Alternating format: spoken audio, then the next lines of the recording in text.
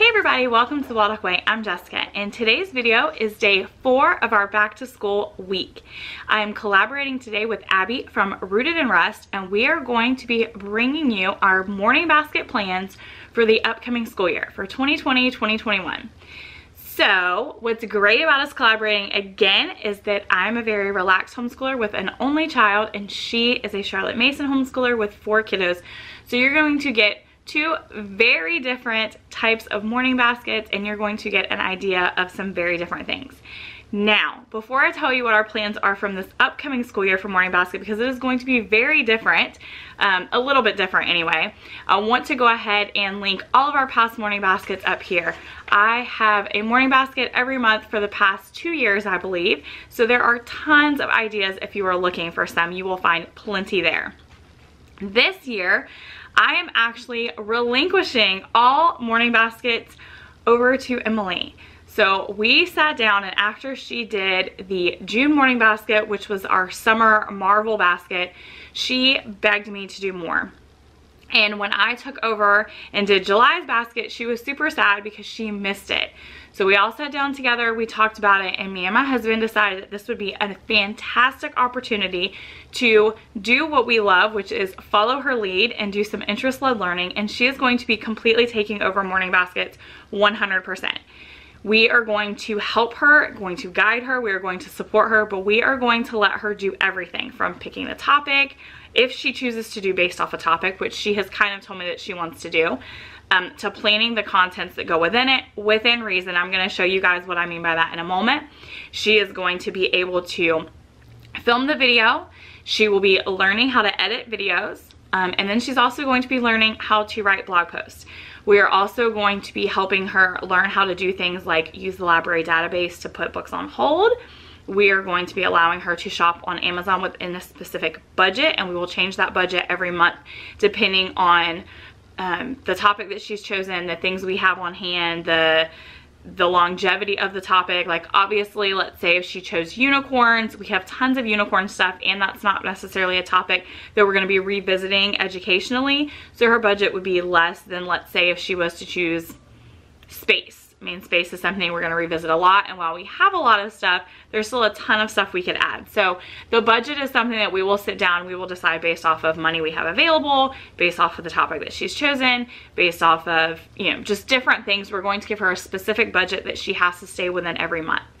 What I am so excited about is that by doing this, she is going to be practicing math within her budget. She's going to be practicing writing because she's gonna have to write down her plans for what she wants to do. Um, typing because she's gonna be helping me write the blog post. She's gonna be doing videography with filming and editing. I mean, all of these really, really awesome things that I probably would not have made a point to teach her in our homeschool had this opportunity not presented itself. So I'm going to show you, I made just a really quick um, kind of form or template for her to use every month to kind of keep her like on a specific steps and um, make sure she's staying within certain guidelines. Because obviously I don't want our morning basket to just be full of you know just a bunch of games. Although I love games I wanted to make sure there's a few other things. So she has four basic things that can go in the morning basket um, and those are read alouds Mad Libs and or trivia hands-on activity and games now everything that was important to me that I wanted to make sure was in our basket and being done every day no matter what, I have moved to our bedtime basket. So our devotion, our journal, um, anything that I wanted to make sure that was being done every day and I wanted control over, I just simply moved it over to our bedtime basket. And you can see more about our bedtime basket up here. So that's what I did with those things. They're not not getting done. They just shifted. That way she could have more control and a little bit more freedom during our morning basket time. Because honestly for us, morning basket has always been a way to start our day together, connect, laugh, kind of start off on the right foot. It sets the tone for our whole day. So if she has more of a say in it, I mean, she's going to be happy. I'm going to be happy that she's happy. And it's just going to make our days go that much better. So it's going to be great what I am doing is this is for our August morning basket here. You can see I just gave her four simple steps to do each month, which is choose a topic or theme, search the house for items that we already own, because obviously I want her to start there, check the library database online for books, and then shop on Amazon for items within a maximum budget of, and this is where we'll write that maximum budget.